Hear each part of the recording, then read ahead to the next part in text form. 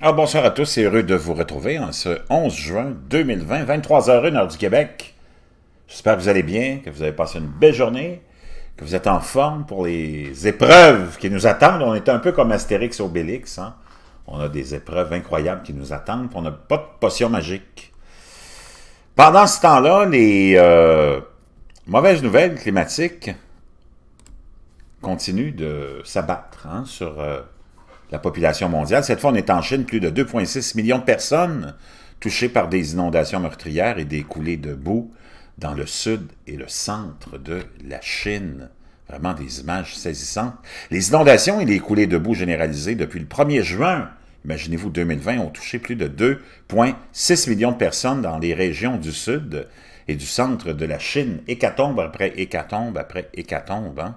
C'est vraiment, vraiment fascinant de voir euh, qu'il n'y a personne qui est épargné et que c'est continuel, continuel, qui a entraîné un nombre euh, croissant de décès et de dommages au 11 juin.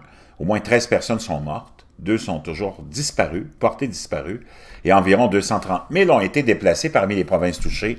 Il y a le Guangdong, le euh, Guangzhou, ou plutôt le Guangxi, pardon, où six décès et un disparu ont été signalés, et le et euh, le Wuhan, où euh, sept euh, personnes sont décédées et une personne est toujours portée disparue.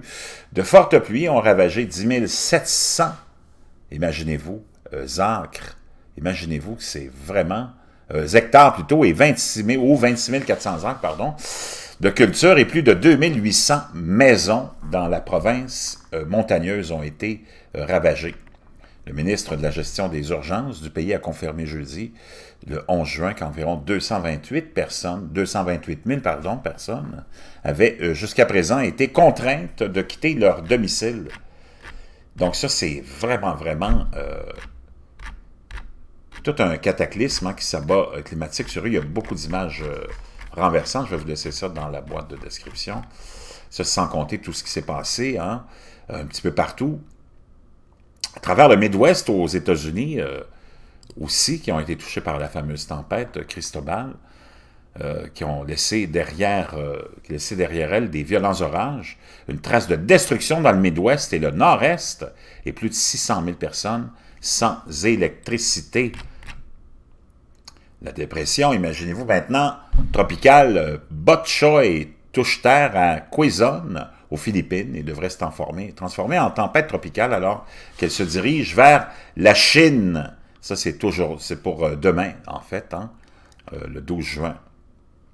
De fortes pluies et la grêle entraîne de graves inondations à Mexico. Une violente tempête de sable traverse euh, Dongobi, en Mongolie. On vient de voir la nouvelle maintenant de la Chine, où plus de 2,6 millions de personnes sont touchées. Les violents orages qui laisse une trace de destruction dans le Midwest et le Nord-Ouest. Et un froid record dans la mésosphère fait que des nuages nocticulants se répandent de l'Arctique jusqu'aux latitudes moyennes. Les températures de la mésosphère ont battu des records euh, de plus vieux de 14 ans au cours des derniers jours, selon Lynn Harvey du laboratoire de physique atmosphérique et spatiale de l'Université du Colorado. Cela provoque des nuages nocticulants qui se répandent à travers l'Arctique et descendent vers euh, les latitudes moyennes. Je vous laisserai tous ces liens-là dans la boîte de description.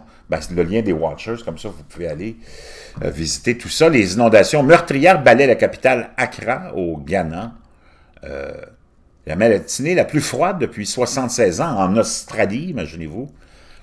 Encore aujourd'hui, en juin, les habitants d'Adélaïde se sont réveillés le matin avec le matin le plus froid de juin depuis 76 ans le rapport hebdomadaire d'activité volcanique aussi, vous avez ça, beaucoup d'activités volcaniques.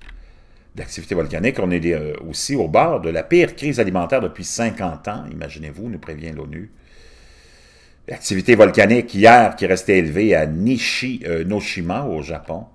Une forte tempête de grêle cause des dommages importants à l'agriculture et aux propriétés à Meknes, au Maroc, l'éruption du volcan. Et ça, ça continue, mais c'est vraiment, vraiment toute une époque et toute une, un moment qu'on a euh, à passer, hein, et ce moment-là va être plus long qu'on ne pense. Les changements climatiques ne font que commencer. Il faudra s'habituer à notre nouvel environnement très inhospitalier. Euh, climatique. Vraiment, je pense qu'on n'est pas préparé à tout ça et on verra les conséquences sur les populations mondiales. Euh, ça ne sera pas une sinécure. Je vous reviens.